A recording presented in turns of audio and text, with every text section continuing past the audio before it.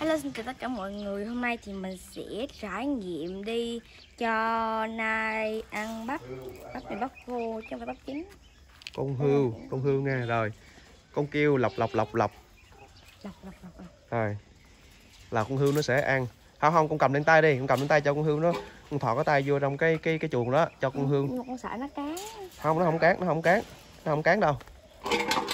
Rồi đó đó đó đúng rồi. Con bỏ vô. Đó nó ăn đó thấy không? Nó không sợ quá không sao hết con con hươu con ăn đi nó không cán rồi con kêu lọc lọc lọc lọc lọc lọc lọc lọc Ông qua, ông qua làm thử đi này lọc lọc lọc lọc lọc lọc lọc lọc lọc lọc lọc lọc lọc lọc lọc đó nó ăn cái lưỡi nó lấy cái lưỡi nó ăn mình thôi đó đó nó rất là hiền hòa nó không có cắn mình tại vì mình đang cho nó ăn mà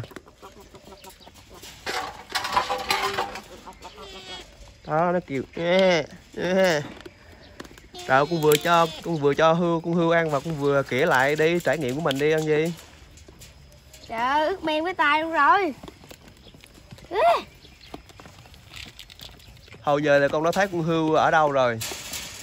Nó thấy con hươu ở trên tivi Nhưng mà chưa gặp ngoài đời bao giờ. Hôm nay lần đầu tiên mà con thấy con à, con hươu như thế này. Con hươu sao thì con cảm giác được không? Con rất là vui nó là thú vị. À có một em nhỏ đang nằm dưới đất. Vậy thì con bỏ luôn bỏ luôn dưới sàn luôn cho nó ăn luôn.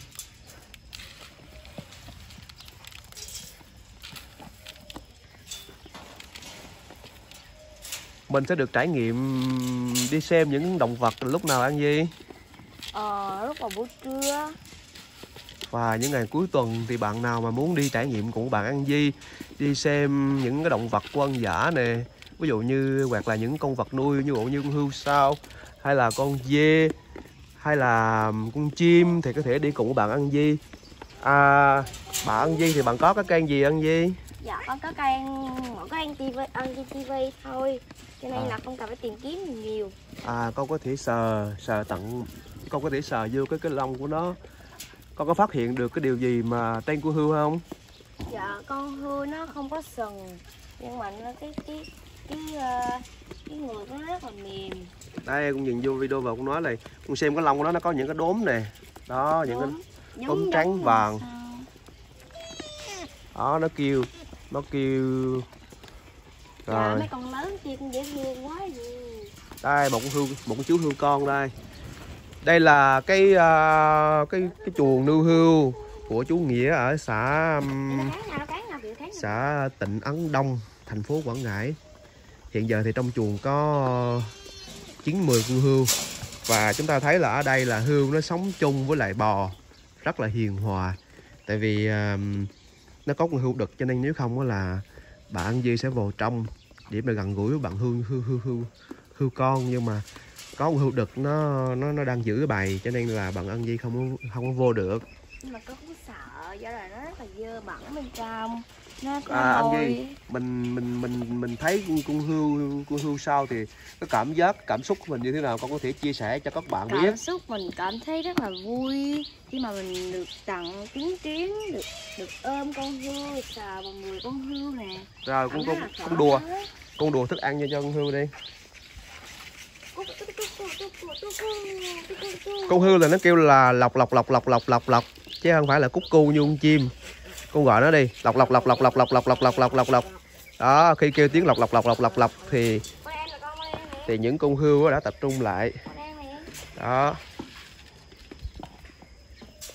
các bạn có thể đi cùng của bạn ăn di để mà trải nghiệm xem mô hình nuôi hươu sao của chú nghĩa ở xã Tịnh Ấn Đông thành phố Quảng Ngãi ở dưới dưới chân núi Thiên Ấn bạn ăn di thì đang tặng tay cho những con hươu nó ăn.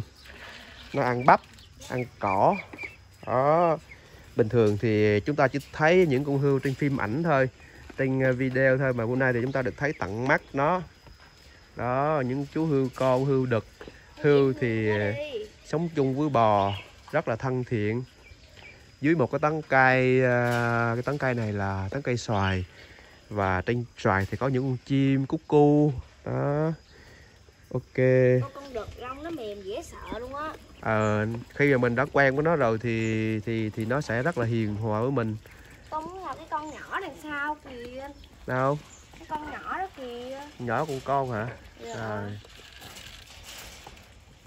Ăn từ từ thôi. Còn đó bạn à, bạn Ân Di đã được chủ vườn cho một cái một cái gô bắp và bạn Ân Di cho ăn. từ nãy cũng được ăn nhiều nhất con đực thì nó khỏe nhất cho nên nó ăn nhiều. Đó. Nếu như mà có chú chú nghĩa thì chú nghĩa có thể dẫn Ân Di vô trong trong chuồng luôn đó Ân Di để mà mình xem luôn á. Rồi con đứng lên con xem con đếm thử là trong cái vườn này có bao nhiêu con con dê à, con à, hươu sao con đếm thử. Dạ bắt đầu từ một hai ba bốn năm sáu bảy tám chín chín con. Chín con hươu chín con hươu sao này. Đó con này là con con nhất. Con hươu đực hươu đầu đàn con nhất. Và kia là những chú những à, con hươu cái và con hươu con.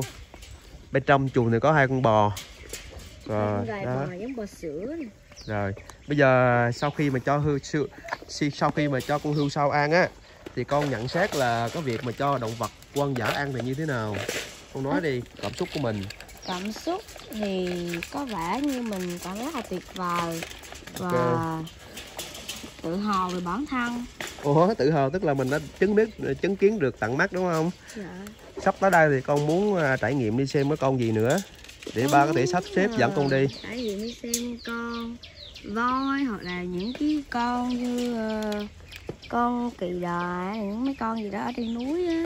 Voi thì hôm trước con nó đi được à, đi quảng nam con đã được xem chỗ à, có sáo. à, con đã xem rồi chỗ hậu an đó con đã được xem voi rồi xem cái sáo rồi. Vịt rồi việc đó xíu nữa chúng ta sẽ um, sẽ sẽ sẽ sẽ trải nghiệm việc rồi con đùa lại những hạt bắp ở dưới đi vô trong cho những uh, chú hươu sao nhỏ được ăn Đó. Bạn Ân Duy 9 tuổi đang học lớp 4 trường tiểu học Trần Phú, thành phố Quảng Ngãi. Hôm nay thì ba thương dẫn cho bạn An Di đi trải nghiệm chăm sóc những con hươu sao.